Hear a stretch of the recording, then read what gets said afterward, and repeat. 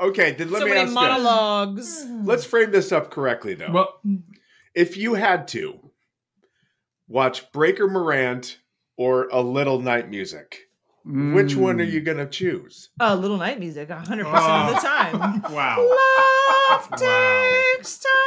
Takes time. Wow. It's a musical, Marc. Oh. It's gonna draw me in. It's It's terrible much- musical. It's, it's You longer should have than paired- this. It's you should have paired one. that with something else.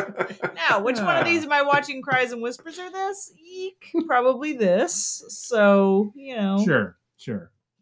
But I Ryan, what's something you loved? I love the script. Uh, this is uh, some incredible lines in it. Lots of incredible lines, including one that Eric and I cannot stop quoting, which is, You're a liar. well, Oh. there's that. Oh.